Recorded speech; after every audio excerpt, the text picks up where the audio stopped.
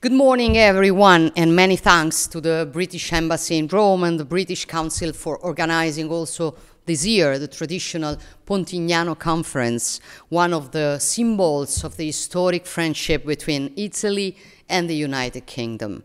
Our nations are pillars of the transatlantic community and play a leading role in the international scenario.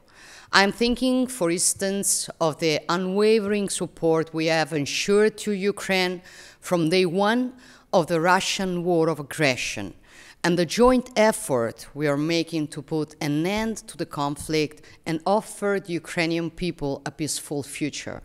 We are also at the forefront of international efforts for de escalation in the Middle East, in the shared belief that a lasting solution to this crisis lies in the two state solution for two peoples.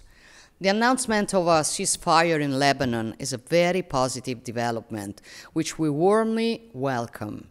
Italy is determined to make its own contribution uh, to the stabilization of the Israeli Lebanese border, both through our soldiers in UNIFIL and in the framework of international support of the Lebanese armed forces with the Italian led Military Technical Committee for Lebanon initiative. On 17 September this year, I was very pleased to receive Prime Minister Starmer in Rome and sign a joint declaration aiming to strengthen our strategic relationship.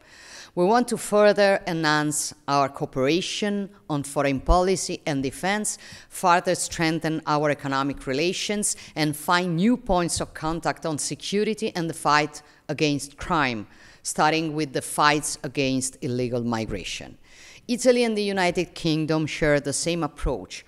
We need to systematize the efforts we are making both nationally and together with our partners to fight human traffickers and tackle the root causes of migration, including with a renewed focus on Africa and the new model of peer-to-peer -peer cooperation.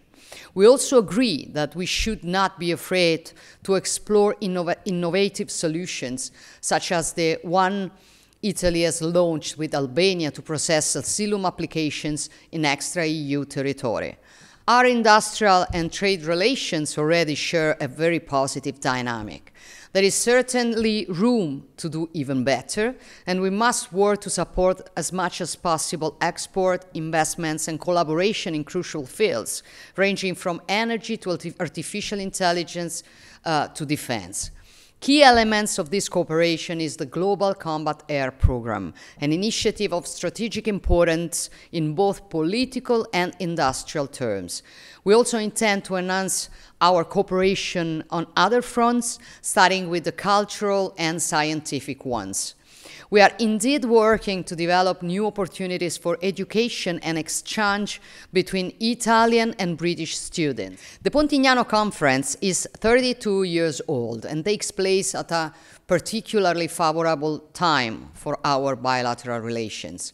If Italy and the United Kingdom continue to strengthen their partnership, I'm confident that the results of this common endeavor will be decisive in addressing the great challenges of our time. So good work and a successful conference.